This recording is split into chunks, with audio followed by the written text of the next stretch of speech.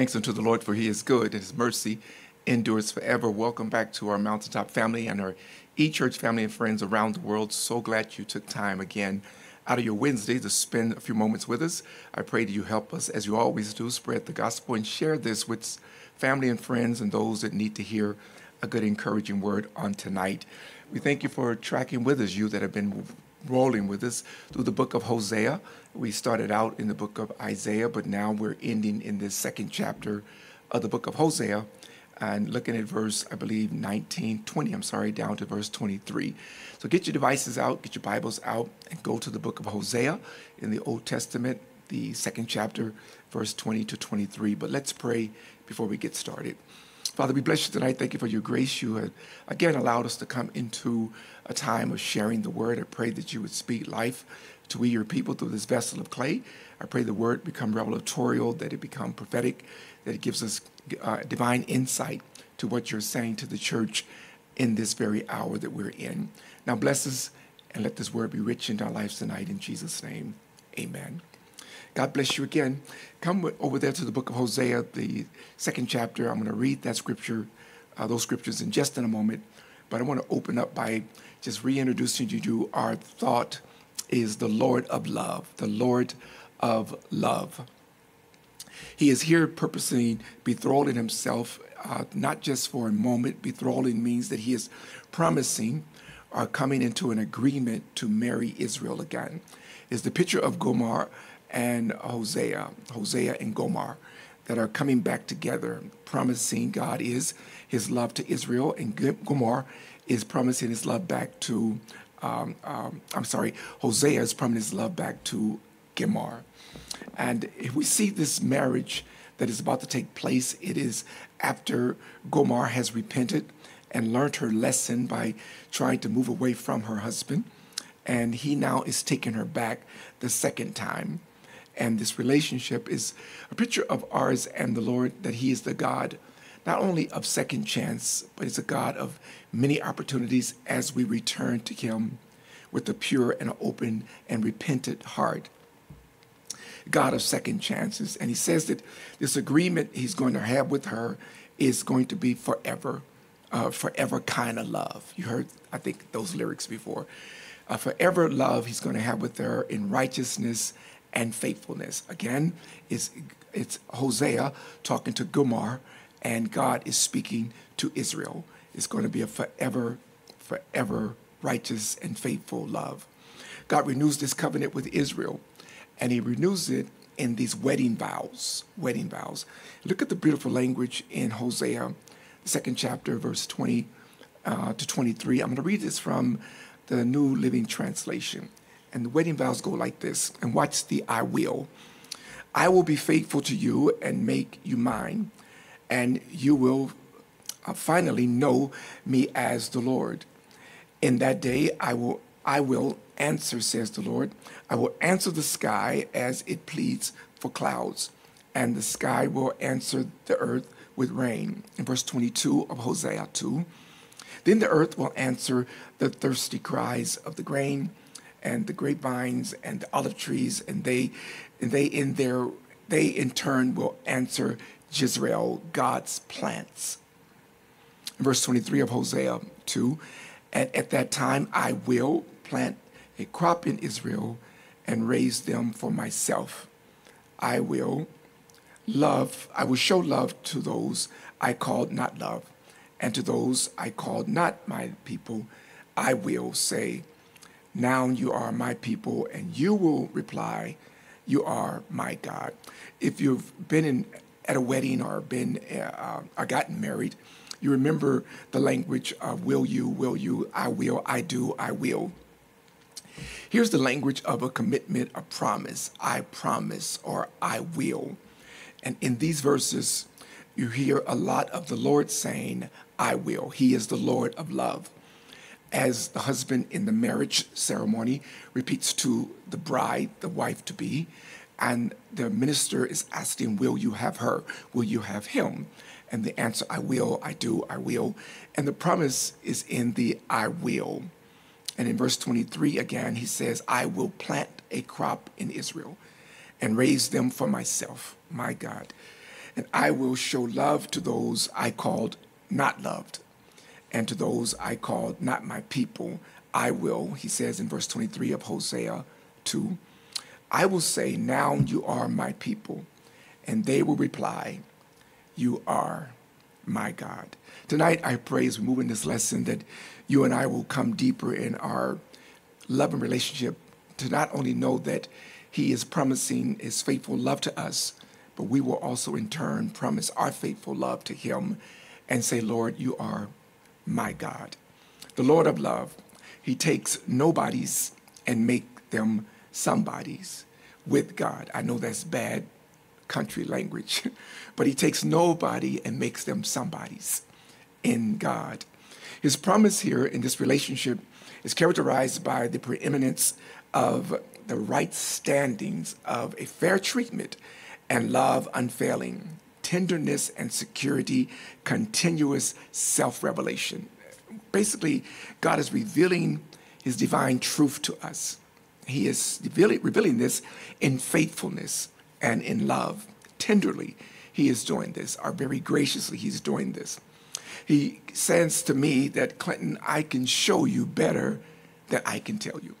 When the husband is about to marry this new bride and the parents is, is giving her away to this husband, they're looking for trusting confidence in that husband's faithfulness that he promised to take care of her and to build her and to strengthen her and look out for her and give her security.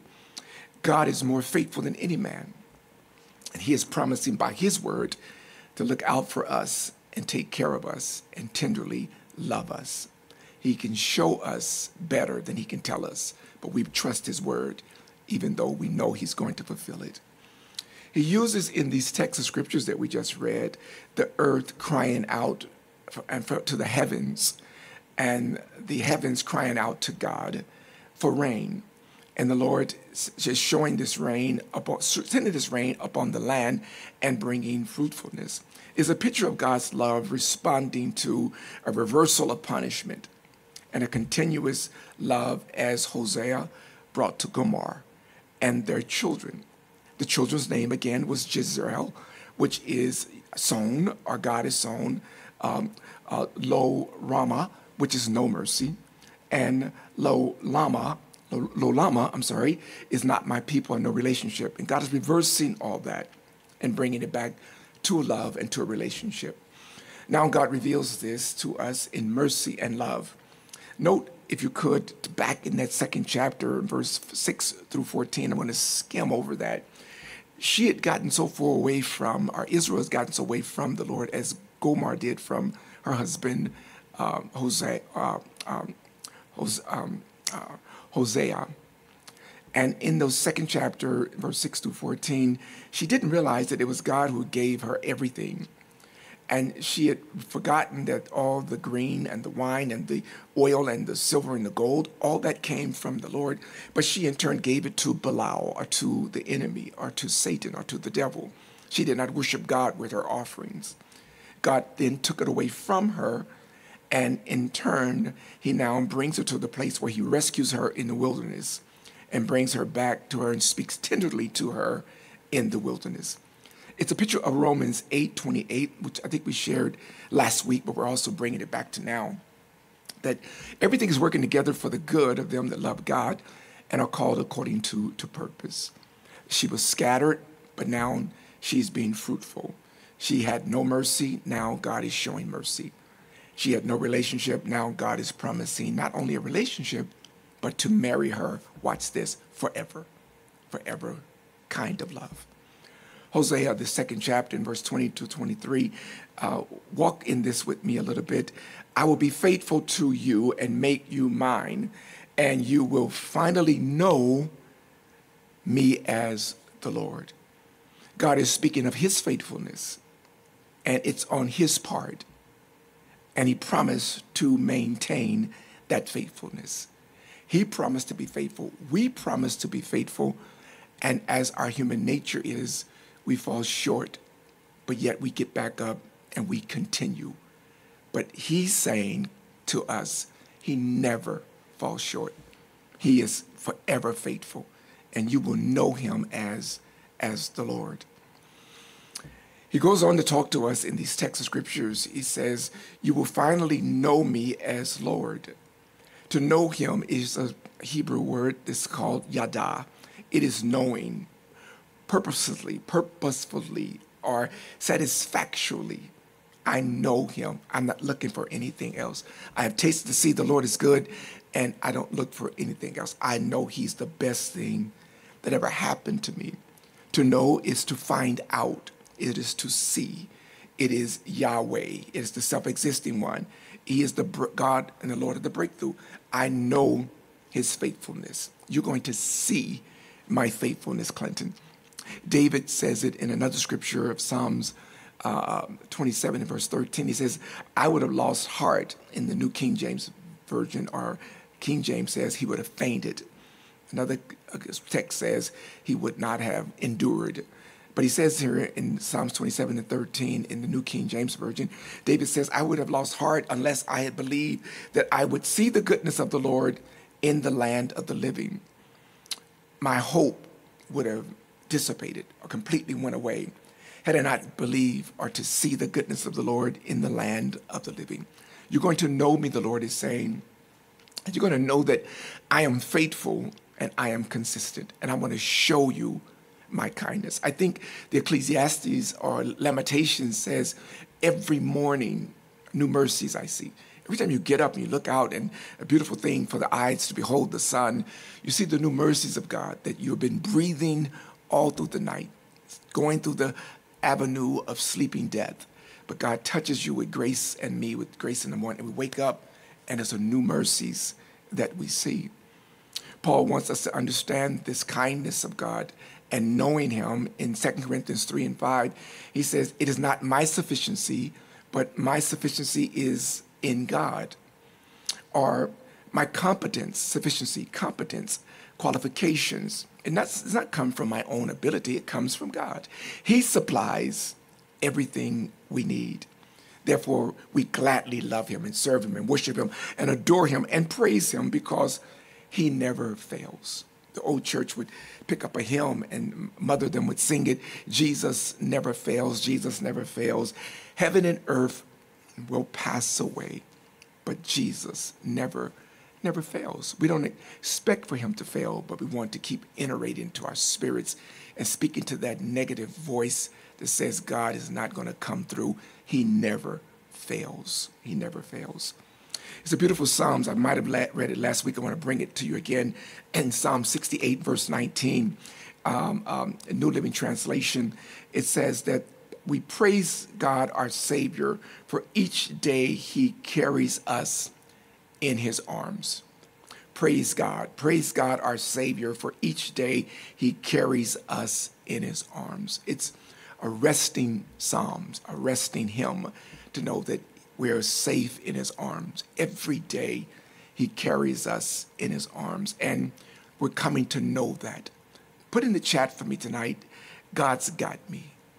God's got me.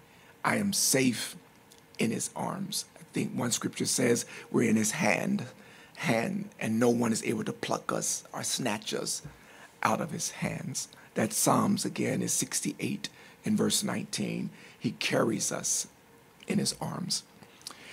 Isaiah and Jeremiah, contemporaries, but Jeremiah 24 and 7, he says, I promise to give, uh, give us, promise to give you a heart to know me. And God puts that heart in us by the Holy Spirit that we come to know the Lord. Knowing the Lord, it takes a lifetime to get to know a person, maybe two lifetimes, and you're still trying to figure them out. It takes a lifetime to know a person, and you have to spend time with that person sometimes every day um, sometimes you get the signal, sometimes you miss the signal. But to, spend time with the Lord is to be in His presence, to get to know Him, prayer, reading His Word, seeking His face, and seeking His presence. And watch this life experiences teaches me how to get to know the Lord. Jesus says in Matthew 11, 28, 9, and, 20, and 30, He says, Take my yoke or connect with me and learn of me.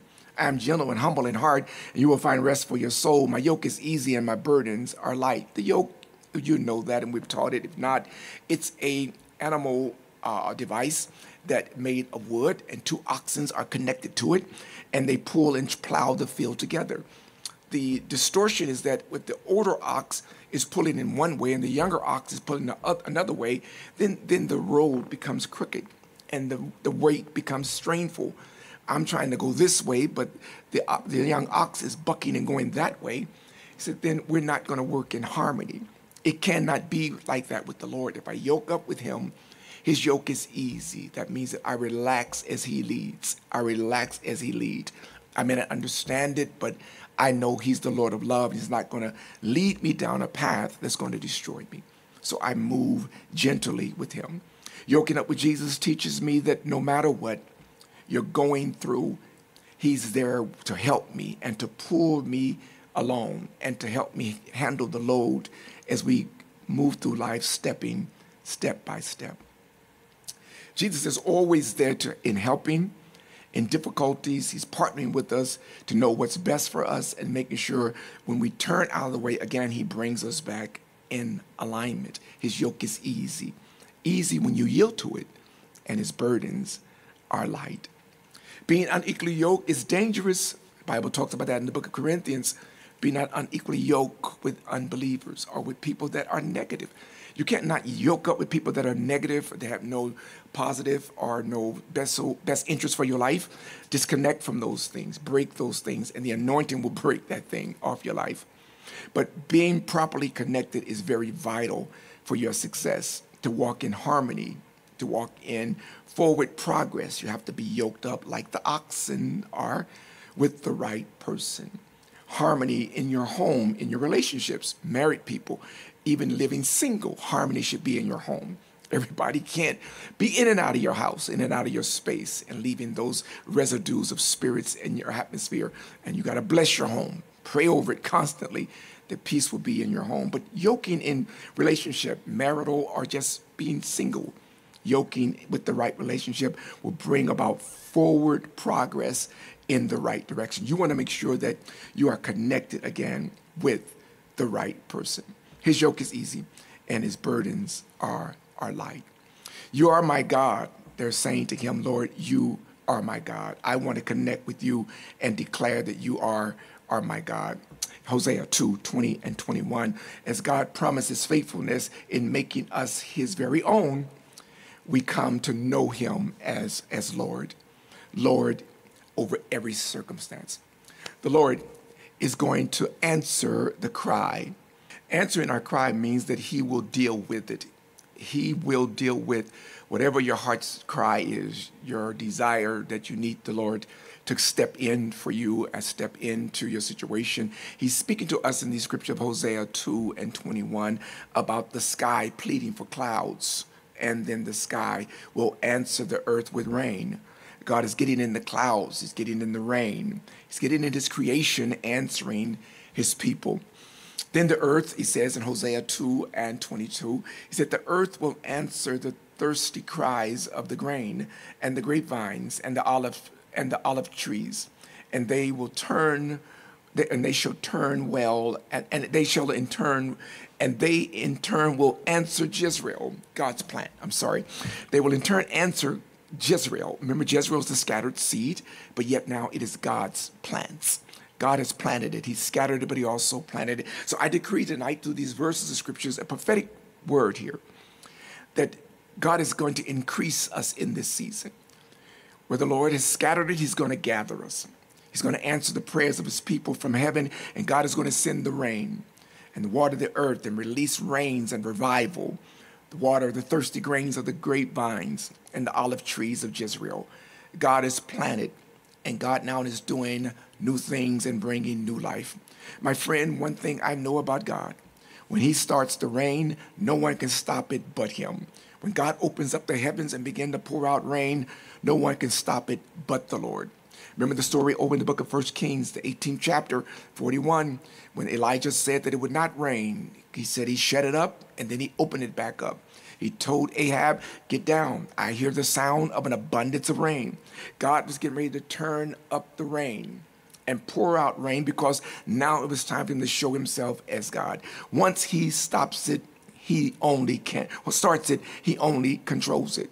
He turns it on and he turns it off. That's the Lord of love. He's sending rain sending refreshing and sending revival. Seasons of blessings are coming to your life. Seasons of outpouring is coming in this season right now. Second Chronicles 7 and 13, you're familiar with that.